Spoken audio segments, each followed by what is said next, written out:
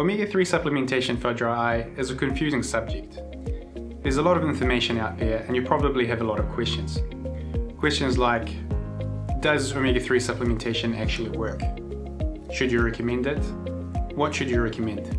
Should you recommend tuna or capsules? What capsules should you recommend?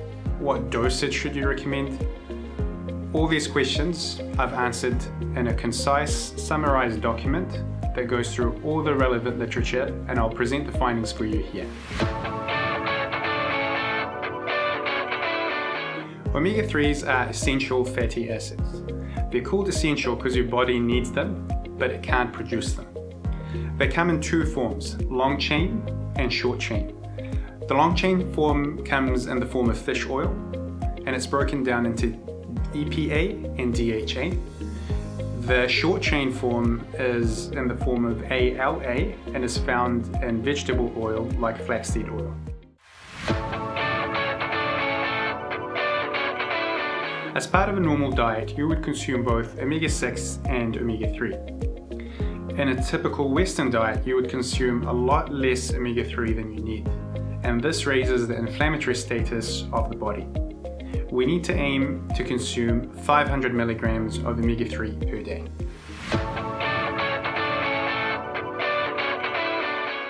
For chronic dry eye patients, I recommend taking omega-3s on an ongoing basis. Because they're not a drug, they're a natural supplement, they're a very good options for patients to keep taking.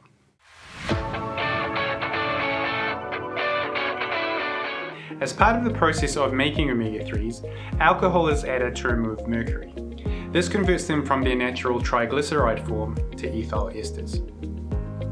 Some studies have found that re-esterified omega-3s are absorbed better by the body, and because of this, I recommend re-esterified omega-3s to my patients. You may be asking, where can I find these re-esterified omega-3s and what brands meet this criteria? Well, there's a list of these brands and the documents that I've provided, and you can look at it by region, so you can look at the region that you're from and find the brands that meet the criteria that I've outlined.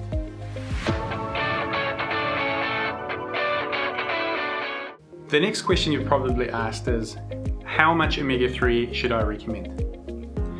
So the ratio to remember is 2 to 1. 2 EPA to 1 DHA and roughly 1000 milligrams of EPA to 500 milligrams of DHA. So you can look at the back of the supplement case, find the EPA, and basically you need to make sure that that number is double the amount of the DHA. If it's not, keep increasing the number of capsules until you reach that ratio. A question that you might have asked is, is there a high risk of bleeding by taking omega-3s? You might be particularly concerned about this with your patients that already have a higher risk of bleeding. You could always be cautious and not recommend it, but you should know that there is no scientific evidence that shows that you have a higher risk of bleeding by taking omega-3s.